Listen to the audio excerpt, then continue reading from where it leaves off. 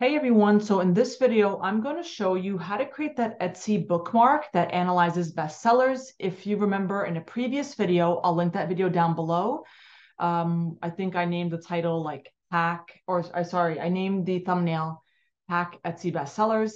Many people were asking, okay, but I don't understand how do you create the bookmark or where do I put the code or all these questions. And I realized I was not very thorough in explaining it fair. So I'm making this video just for that. It'll just take a couple minutes for me to walk you through it. Okay. You don't have to understand how and why these things this works. I'm just gonna show you how to do it. Okay.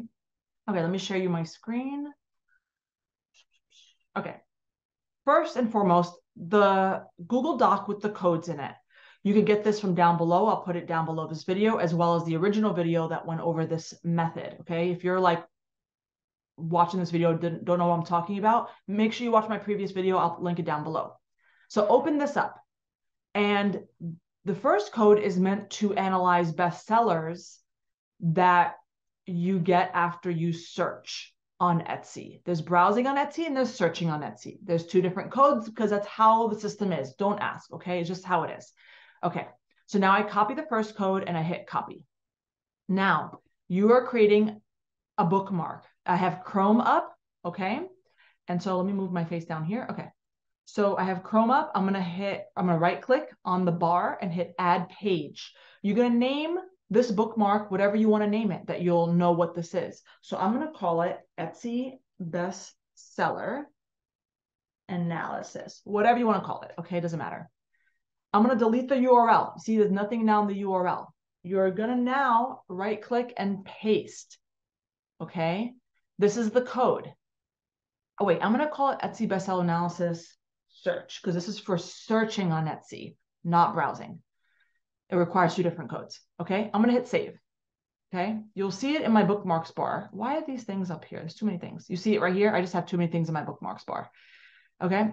So you see right here, Etsy bestseller analysis search. If I remove something here, hold on a second. Why is there a Canva here? Delete. One second. Why is this here? Delete.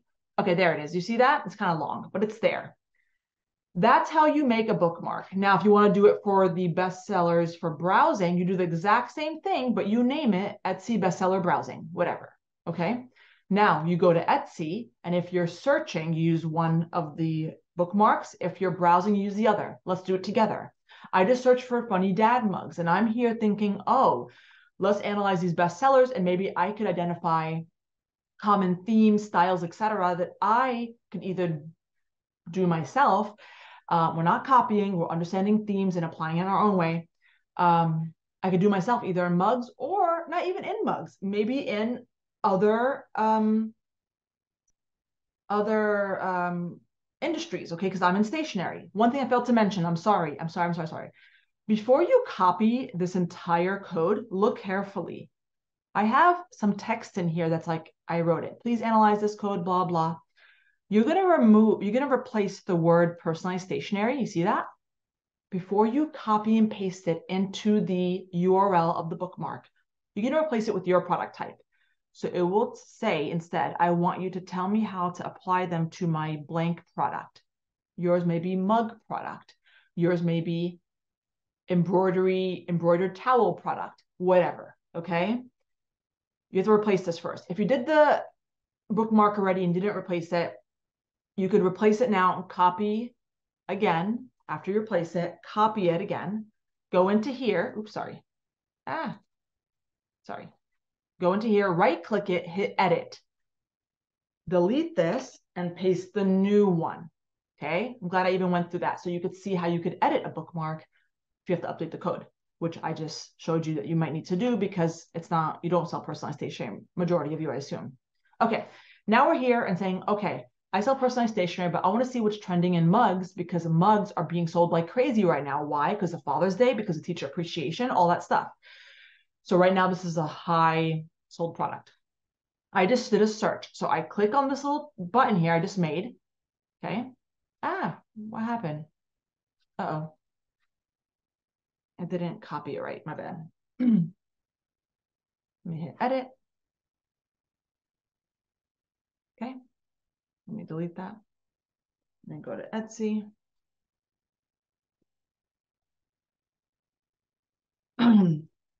funny dad mug or funny mug is fine, whatever. Okay. Again, watch the original video. After you click this, it says title's been copied to the clipboard. Okay. A new tab opens up. If you have pop-ups blocked, a new tab won't open up. Don't worry, you can just go to chat.openai.com yourself. Okay. I have ChatGPT 4. It's not necessary, but I like it. Okay. Then all you have to do is click on the bottom here and hit paste, Control V. It has copied all the best-selling titles only, and it tells you above that, the text, please analyze these best-selling titles that came from Etsy search results and find the common themes that are trending. Then in a chart form, please tell me those themes in one column. And in the next column, I want you to tell me how to apply them to my blank product. I left it for personalized stationery. You guys should have your own product in there, your own type of product in there. And even if you have different products, you could, you don't have to make different, um, you don't have to make different bookmarks. Just change this text before you hit enter, before you send it to AI, okay? So that can create best-selling products and utilize these common themes. Okay, I hit enter, I send it. And now it's gonna give me the information. Watch the other video down below so you could see how I analyze this, etc. Let's do this one more time, but we're gonna do it for the browsing code. Okay, I'm gonna grab the browsing code. Again, change the text to your product type. Okay, mine is personalized stationery. Yours may not be. Okay, I copied the entire code. I hit Control C a million times. And then I am going to right click, hit add page, and I write Etsy BS, which is Etsy bestseller, browse. I delete the URL. I hit paste hit OK, save. Again, I have too many bookmarks here. So it's right here. Now I have, this is the browsing feature. If you go here and say, you know what, let me see what's trending in clothing and shoes, okay? You go, you got it open, and you're now saying, okay, I'm gonna analyze bestsellers and browse. And you could go to different browse. Like you don't, I just did a total browse uh, of clothing and shoes. You could go individual, but this is still browsing. I go here, I click on this, it says titles copied to clipboard. A new ChatGPT opens up. I go to four. I hit paste. Same idea happens. It requires two different codes for browse and search. Hit enter and ta-da, there's only five bestsellers on that page. However, you'll see in the previous video, I'll link down below, please go from page to page. Okay. You might find additional things. Okay. And there you have it. You just created, it's not really a bookmark, it's a function to help analyze um, data, but I did it in the form of a bookmark. So it makes it really accessible and easy for folks like you and I. Okay. So you can see that the previous one um, kind of analyzed trending themes and how it can apply to personalized stationery. This is gold, guys. Okay. And here I did same thing, but for browse. Um, so again, this purpose of this video is to show you, just to show you, let me stop the share, just to show you how to create the bookmark because I wasn't thorough beforehand. I hope this is useful. Please click the link down below to watch the previous video as I go through this in much more detail. Um, and the doc for the code is, is down below as well in the description. If you like this video, hit the thumbs up, share, follow, whatever you want to do. Okay, thank you. Bye.